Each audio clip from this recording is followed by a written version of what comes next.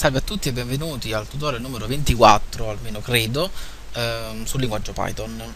In questo tutorial continuiamo a vedere la nostra libreria Kinter per creare interfacce grafiche. Eh, vediamo innanzitutto come eh, creare dei layout. Per creare dei layout abbiamo bisogno di un oggetto che è il frame. Eh, e vediamo subito un esempio così vi sarà abbastanza chiaro. Vediamo di creare un top frame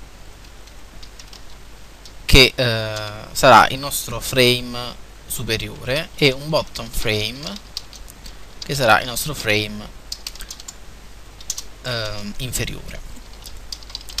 Qui dobbiamo sempre chiamare eh, pack su qualsiasi oggetto grafico che andiamo a creare per la nostra interfaccia.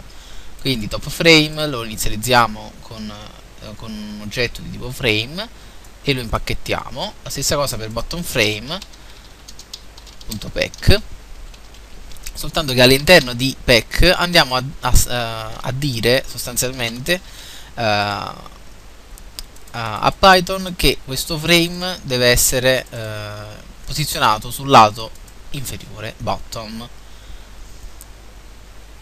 Quindi andiamo a creare dei pulsanti, andiamo a creare due, tramite la variabile button che riceve come primo parametro sempre root.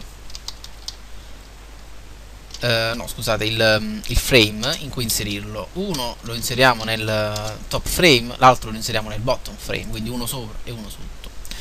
Il secondo parametro gli passiamo il testo.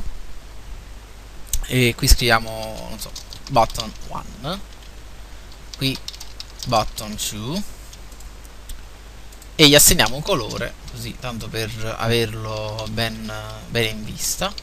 FG sarebbe foreground quindi colore, di, colore principale sostanzialmente.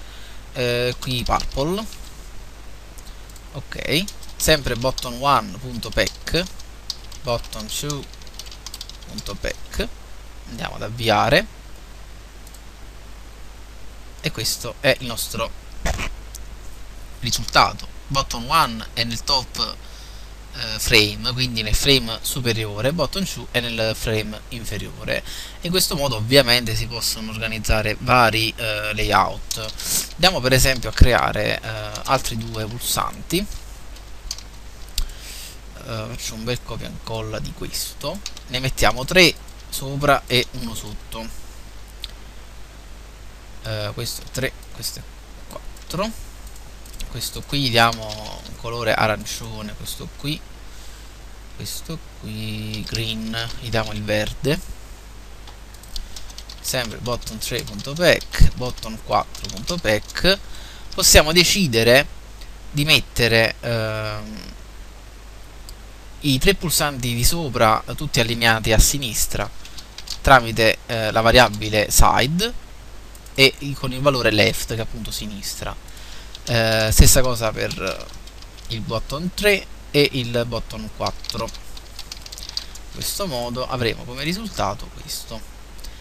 1, 3 e 4 sono allineati e button 2 è eh, nel, top, nel frame inferiore Ovviamente questo è il risultato nostro, eh, quando io vado ad allargare vado poi a rovinare diciamo, il layout, eh, questo è il layout che viene generato in automatico e sono tutti e tre allineati a sinistra, ovviamente eh, considerando eh, che qui c'è un altro pulsante, questo qui è allineato a sinistra, soltanto che alla fine dei conti andrà eh, a risultare al centro e questo qui dovrà allinearsi a sinistra, però considerando che ci sono già due pulsanti risulterà allineato a destra.